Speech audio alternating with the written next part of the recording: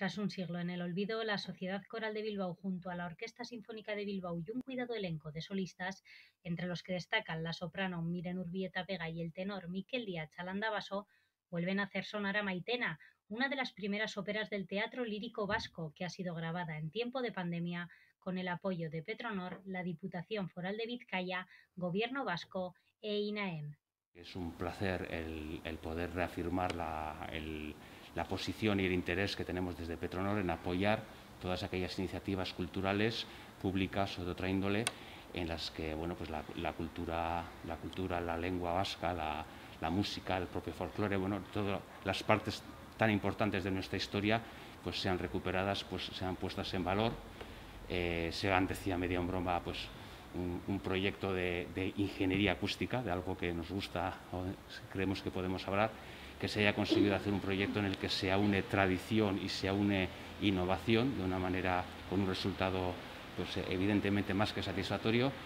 y, que nosotros como, como Petronor pues, eh, estaremos ahí porque creo que todos estos proyectos, Euskal Opera en concreto, están muy alineados con nuestra, con nuestra visión y con nuestros, con nuestros valores. Hasiko naiz Petronorri eskerrak emanez, e, gure kulturak, erakundeak, sortzaileak, entzuleak eta babesleak behar dituelako,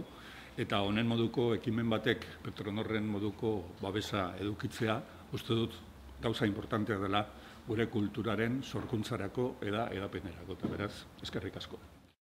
Maitena es la primera obra que se recupera dentro del proyecto Euskal Ópera, un proyecto de recuperación de patrimonio que pone en valor una partitura muy relevante dentro del repertorio lírico vasco, que muchos musicólogos mencionan como piedra angular y que hasta ahora nunca había sido registrada. Si hace 100 años, cuando se estrenó Maitena, el año 1909, alguien les llega, les llega a decir que el año 2021, ciento y pico años después, esa partitura iba a ser objeto de una grabación y además iba a concitar una, una, una expectativa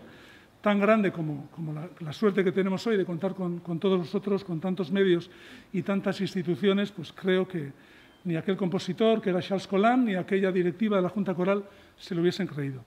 La grabación de Maitena es el primer fruto de un importante proyecto de la Sociedad Coral de Bilbao que contribuye a enriquecer nuestro patrimonio histórico musical. Es un proyecto que fortalece nuestra cultura y nuestra lengua y es una manera de reivindicar también el legado lírico en euskera.